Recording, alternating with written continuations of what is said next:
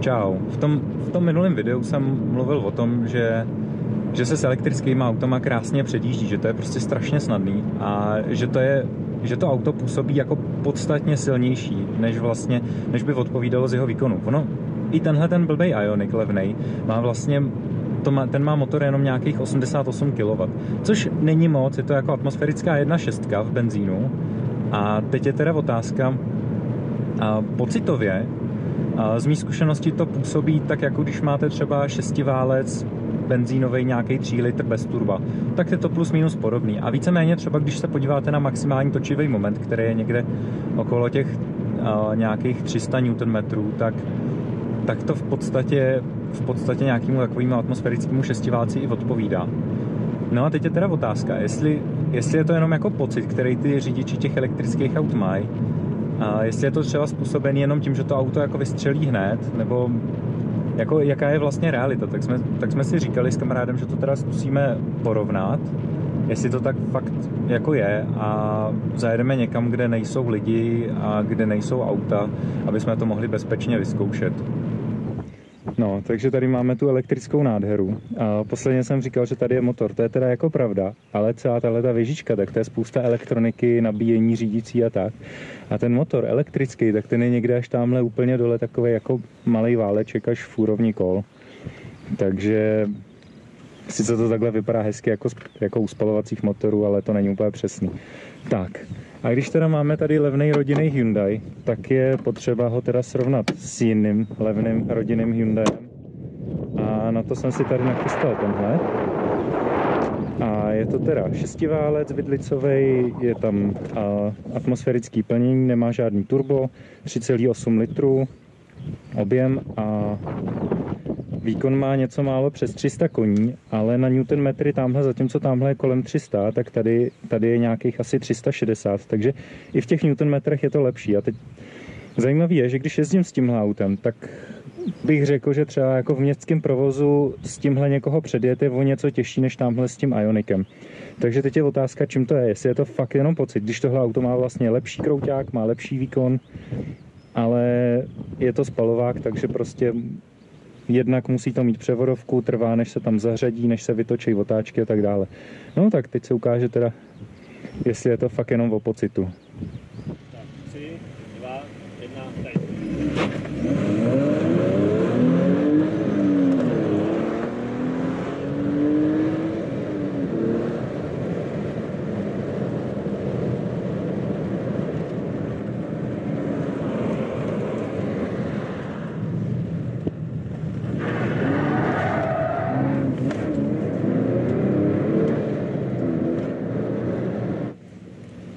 Tyjo, takže dáme další pokus.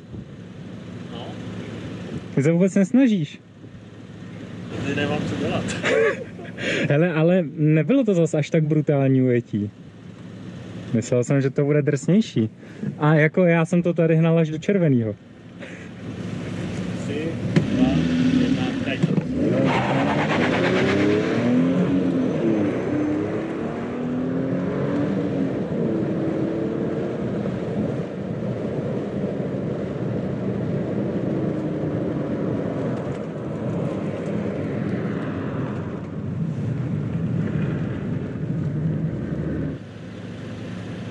Nebo počkej, já prostě zrychlím normálně na 40 teďka a pojedeme a pak teda ty mi řekneš, jo, ustálíme se na 40, nebo ty se ustálíš na tom, co jedu já.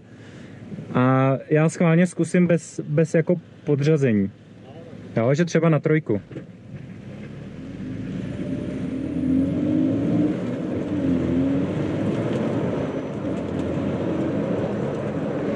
Tak jo.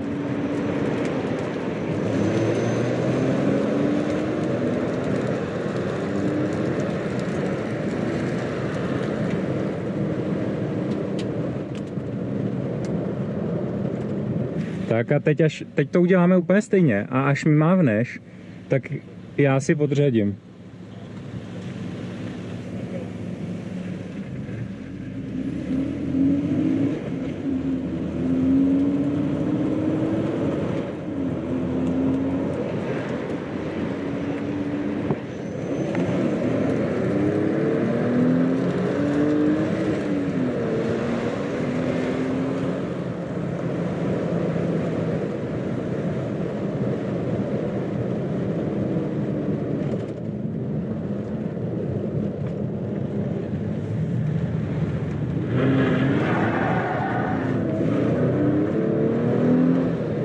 A teď se teda prohodíme, aby jsme zjistili, jestli je to řidičem.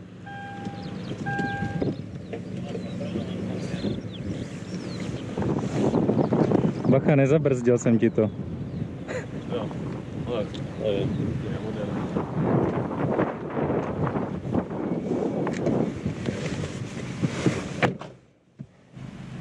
Takže tři, dva, jedna, teď.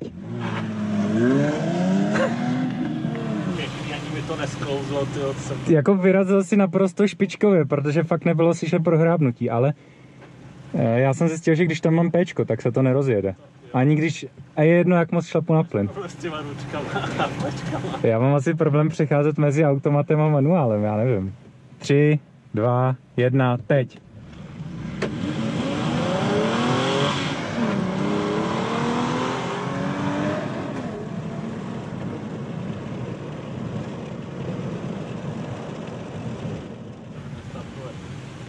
Takže chceš znova? No, naposled. Tak jo. Takže tři, dva, jedna, teď.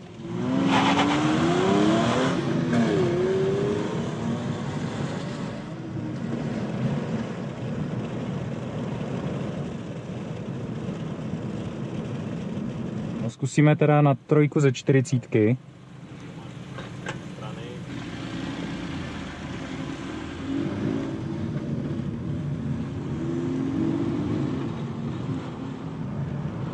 Tak jo, takže tři, dva, jedna, teď.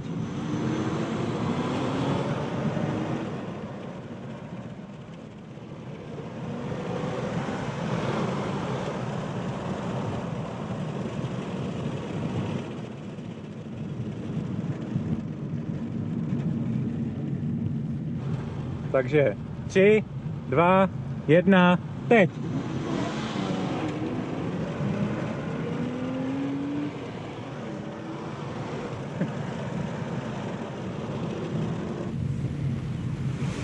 To, tu dvojku tam chytnout, je, A dvoj, jsem si to zkoušel, až to mi to vždycky hned, ty vole, tak to prostě tam, a tam každá pěti vteřinka je úplně drahá. No, to je totiž ono, to je ten rozdíl. Tady, tady víceméně máš pořád konstantní výsledky, šlápneš na to je to. Tamhle si to musíš trošku zasloužit a když náhodou se netrefíš, to je ono, to je možná při těch předjížděčkách to, co mě jakoby trápí, že si říkám, ty jole, podřadit jako na dvojku musíš s meziplynem, že jo, kdyby se náhodou jako úplně přesně netrefil, tak zbytečně prostě ztrácíš sekundy. A tak si řekneš, tak se na to možná radši vyseru. Zatímco tady prostě si řekneš volno, šlápnu na to, hotovo. Tak to zkusíme ještě jednou.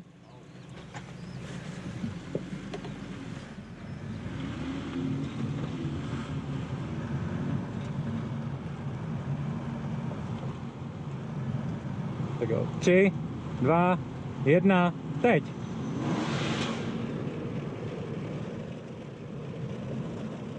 Abych to na závěr nějak schrnul, tak a pro ty rychlosti 0 až 80, to městský předjíždění, tam je elektroauto skutečně lepší a když budete hledat ekvivalentní spalovák, tak musíte se dívat někam až 2,5 až trojnásobku výkonu. A výhoda toho elektroauta je, že tam teda nejsou prodlevy, výsledky jsou konzistentní, získat ten výkon je poměrně snadný. A samozřejmě až jako kdybych se bavil o nějakých dálničních rychlostech, tak tam teprve třeba auto, se kterým jsem to srovnával, tak proti němu by Ioniq neměl žádnou šanci. No to je asi všechno.